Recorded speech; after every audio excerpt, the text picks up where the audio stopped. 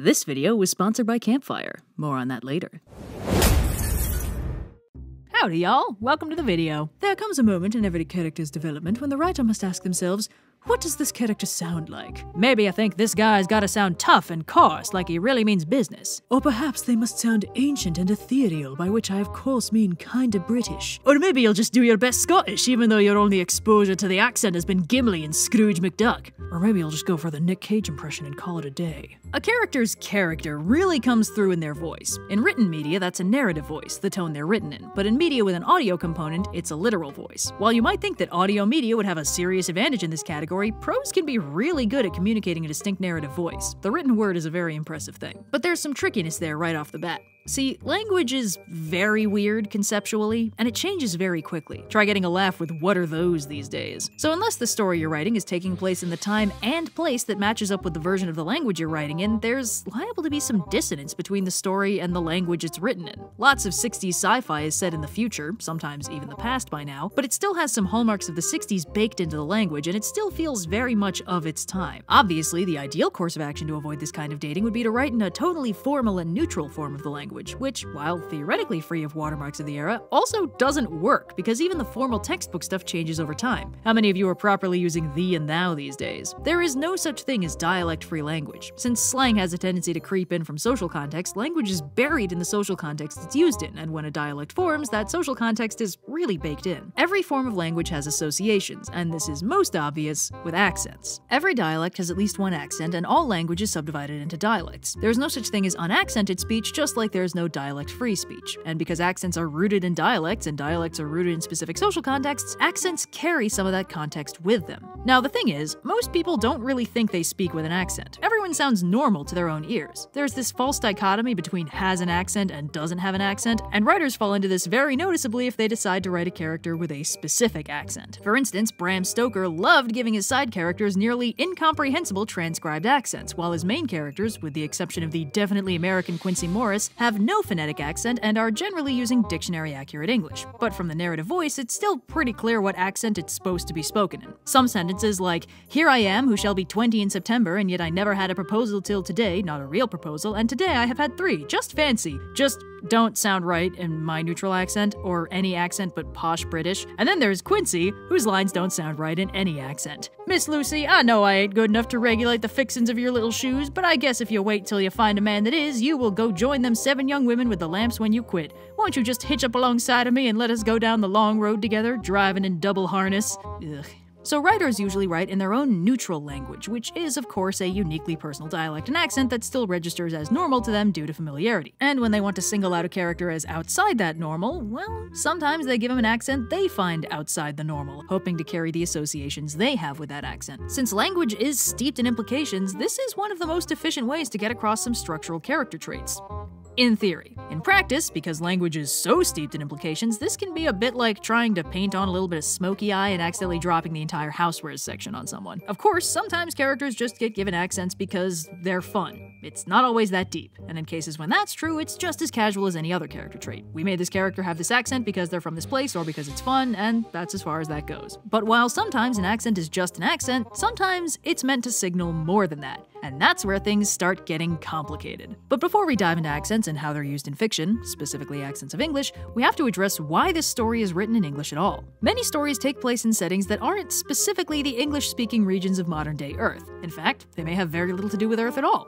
And English is a serious hot mess of a language, with its linguistic development rooted in a lot of goofy and highly specific historical shenanigans. How do we justify its presence in a story or world that doesn't line up with the version of the language we're using? Now, the realistic or Doyleist explanation is that the story is written in modern English because it's being written by a writer who's fluent in it and intended for an audience who's also fluent in it. And as narratively accurate as it might be to write the whole thing in your own personal conlang, the goal of a story is to be read, so you probably want to make it readable. Finnegans Wake is purposefully written in not contemporary English, and it's notorious for being nigh incomprehensible. But like all Doyleist explanations, this requires a little suspension of disbelief, and since we're asking the question, we're clearly not suspending our disbelief. Specifically, we're harpooning our disbelief out of the sky for the purposes of narrative analysis. So let's look at the in-universe or Watsonian explanation. Now, this explanation can vary a lot. Sometimes it's just not addressed, which is fine most of the time. Like I said, suspension of disbelief. Totally fair to handwave the language you're writing in because what else can you be reasonably expected to do? Then some stories write in stuff like universal translators, especially popular in sci fi narratives, though there's still no explanation as to why the version of English the translators default to is the same one that was popular when the story was made. And then, as always, there's Tolkien setting the high bar of insanity with the ultimate explanation for why his fantasy epics are written in English,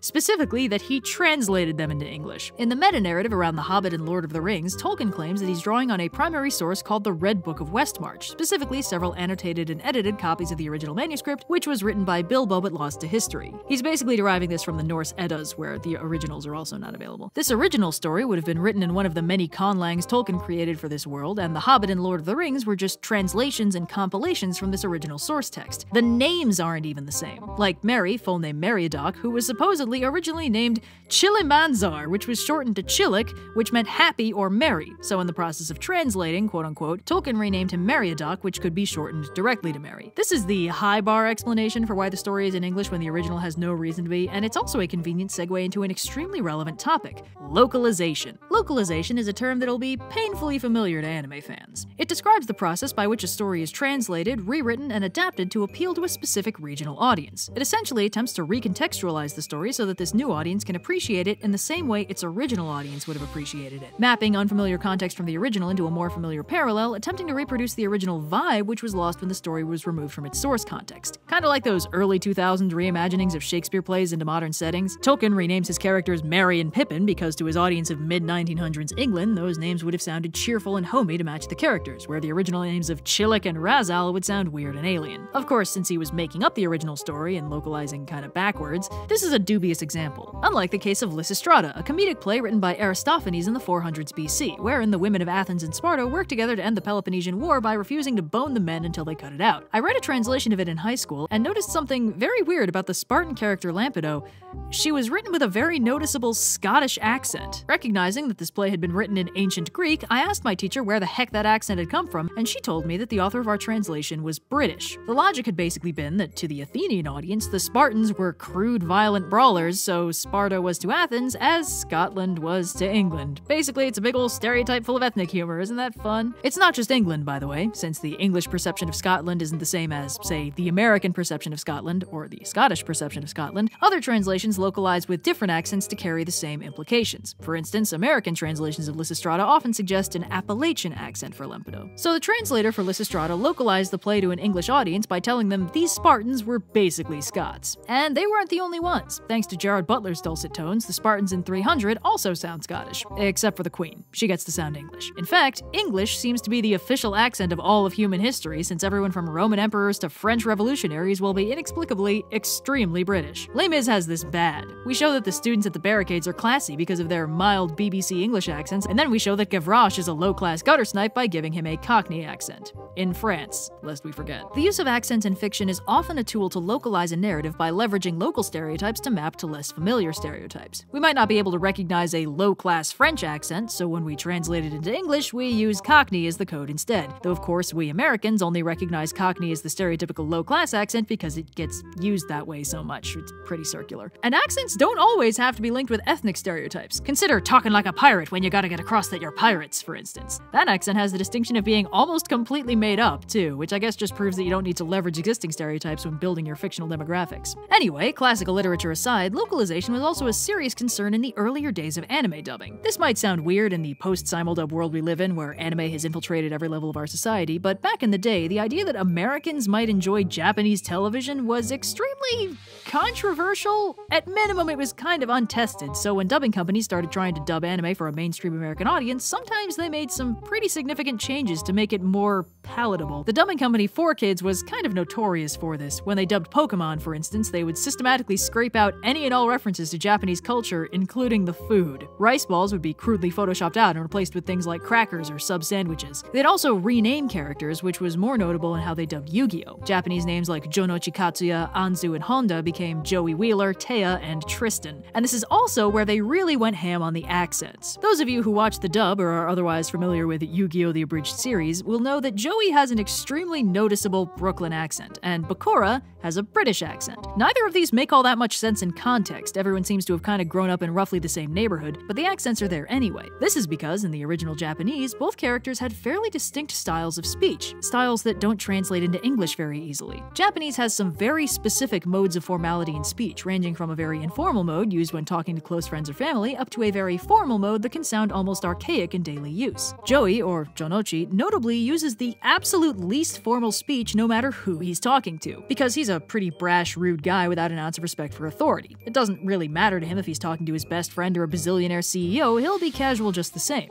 And in contrast, Bakura speaks extremely formally. Most of his lines could come out of a textbook, no slang, informality, or abbreviation anywhere. This doesn't apply to his evil alter ego, by the way, kid's just polite. So when localizing, the translators gave Joey a thick Brooklyn accent and Bakura a British accent to clue the audience in that Joey was loud and rude and that Bakura was formal and polite. And while it wasn't strictly an accent, when translating for Yugi and Yami, they had to deal with the fact that Yugi describes himself with a personal pronoun boku, which just means I but has implications of youth or immaturity, while Yami uses ore, which also just means I but has implications of masculinity, maturity, and superiority. So while the original Japanese version just had Yami kind of sounding a little more confident than Yugi, the dub also made Yami sound considerably older with a much deeper voice. What's interesting is that their localization efforts actually kind of flattened one of the characters. The villain, Pegasus, was an American in the original Japanese version, and he talked really, really weirdly. He would use English words in place of Japanese words almost at random, and he handled honorifics really bizarrely.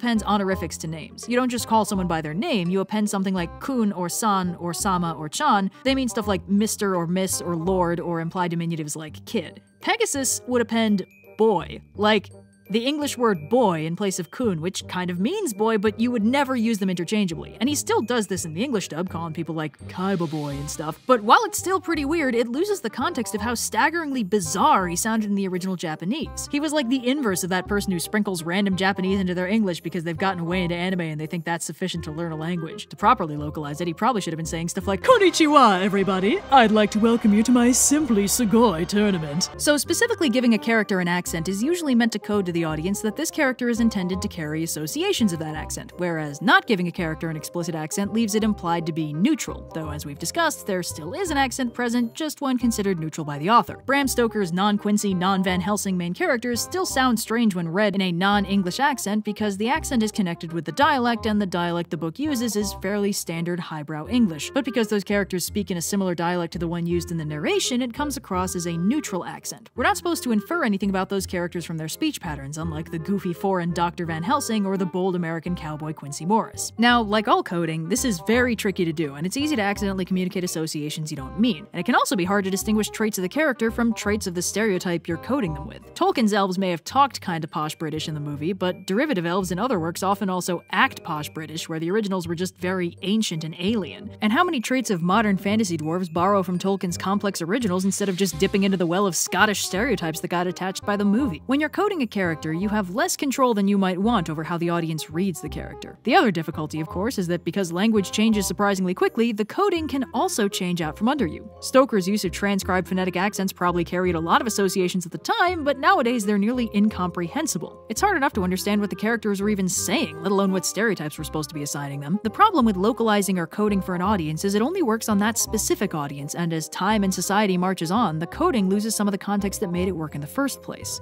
Oh, let's see. Um, sometimes an accent is just an accent, but sometimes it's a lot more than that, and sometimes that can be a problem. Language is weird, writing is hard, accents are deceptively hard, and if you think you're good at one, you're probably wrong. So, yeah.